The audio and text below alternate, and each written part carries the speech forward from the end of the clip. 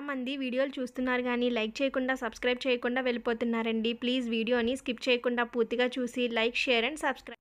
పూర్వం ఒక చెరువులో ఒక కొంగ నివసిస్తుండేది. అది పగలంతా చెరువులోనే ఉండి దొరికిన చేపలను కప్పలను పీతలను తింటూ ఉండేది. త్వర త్వరగా పరుగులు తీసి చేపలను అసలు పట్టుకోగలిగేది కాదు. వయసు మళ్ళింది వేటాడే శక్తి లేదు ఆకలి మాత్రం తగ్గదు.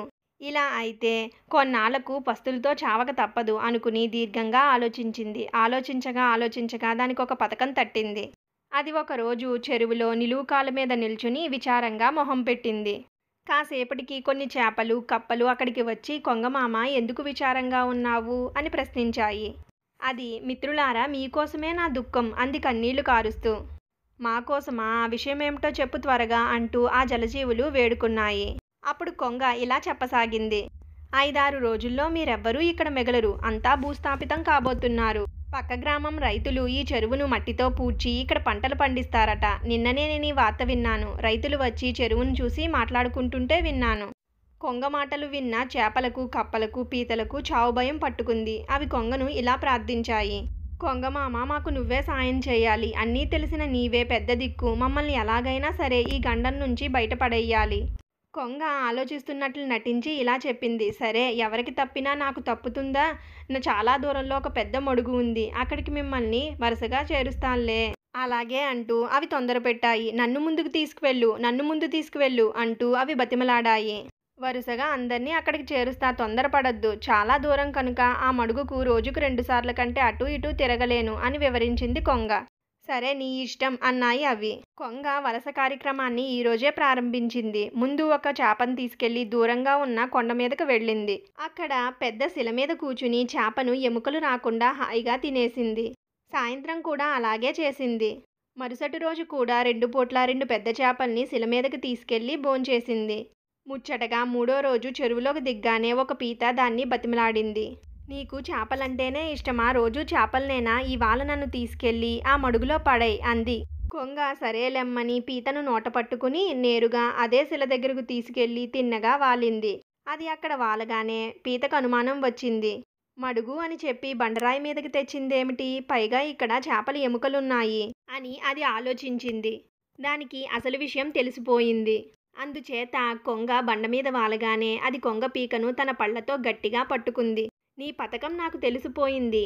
నన్ను మళ్ళీ పాత చెరువుకే తీసుకెళ్తావా లేక నీ పీక కొరకనా అంటూ కాస్త గట్టిగా కొరికింది. కొంగకు సగం ప్రాణం పోవడంతో భయపడిపోయి అలాగే పాత చెరువుకే తీసుకెళ్తా అంటూ చెరువు దిశగా అది పయనమైంది. ఎగిరి ఎగిరి అది ఎట్టకేలకు మళ్ళీ చెరువు దగ్గరికి వచ్చి ఇంక దిగుమరి అంది పీతతో. ముందు నీ పని పట్టి దిగుతాను అంటూ పీత కొంగ పీకను కొసుక్కును కొరికి పెట్టింది. దాంతో కొంగ రక్తం కార్చుకుంటూ చనిపోయింది. ఇంతలో మిగతా చేపలు కప్పలు పీతలు వచ్చి ఏమిటి విషయం అని పీతను అడిగాయి. పీత కొంగ పథకాన్ని వివరించింది. అక్కడ జలజీవులన్నీ పీతను పొగడుతలతో ముంచెత్తాయి. నీతి తెలివి ఏ ఒక్కరి సొత్తు మాత్రమే కాదు ఎదుటి వాళ్ళకు కూడా తెలివి ఉంటుంది. తాడిని తన్నేవాడుంటే వాడి తలం తన్నేవాడు ఉంటాడు. ముప్పు తెచ్చిన అబద్ధం. ఒక గ్రామంలో రంగయ్య అనే పేదరైతు ఉండేవాడు. అతనికి నాలుగెకరాల పొలంతో పాటు నలభై మేకలు గొర్రెలు కూడా ఉన్నాయి.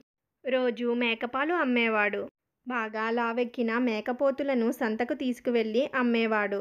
అటు పొలం ద్వారా వచ్చిన ఆదాయానికి మేకల ద్వారా వచ్చిన ఆదాయాన్ని కలిపి కుటుంబాన్ని నెట్టుకొచ్చేవాడు. ఒకరోజు రంగయ్య మేకలను తోలుకుని పొలానికి వెళ్తూ తన వెంట కొడుకుని తీసుకెళ్ళాడు అతని కుమారుని పేరు గంగాధరుడు. అతని వయసు పదమూడు సంవత్సరాలు. రంగయ్య పొలంలోనికి వెళుతూ మేకలకు కొడుకును కాపలా పెట్టాడు. మేకలు గడ్డి ఆకు అలము మేస్తున్న స్థలం రంగయ్య పొలానికి కూతవేటు దూరంలో ఉంది. రంగయ్య పొలంలోకి వెళుతూ నాయనా గంగాధర నేను కూలీలతో కలిసి పొలంలో పనిచేస్తుంటా. ఒకవేళ పులి గాని తోడేలు గాని వస్తే గట్టిగా కేక వెయ్యి. మేం కర్రలతో వచ్చేస్తాం అన్నాడు. వాడు సరే అన్నాడు. కాసేపు ఉన్నాక పులి వచ్చింది నాన్నోయ్ అంటూ గట్టిగా కేక వేశాడు. రంగయ్య కూలీలు కర్రలెత్తుకుని పరిగెత్తుకుంటూ వచ్చారు.